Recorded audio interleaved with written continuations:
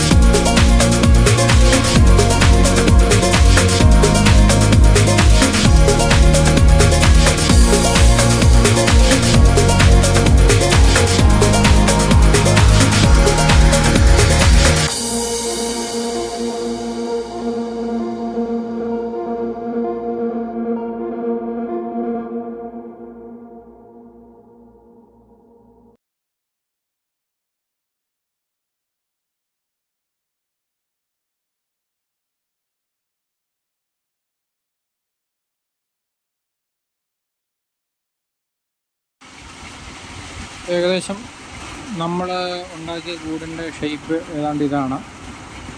അത്യാവശ്യം ഭംഗിയായിട്ടുണ്ട്. കൂടുതൽ ഉണ്ടാക്കിയാൽ കൂടുതൽ നന്നാകും. അതിനാൽ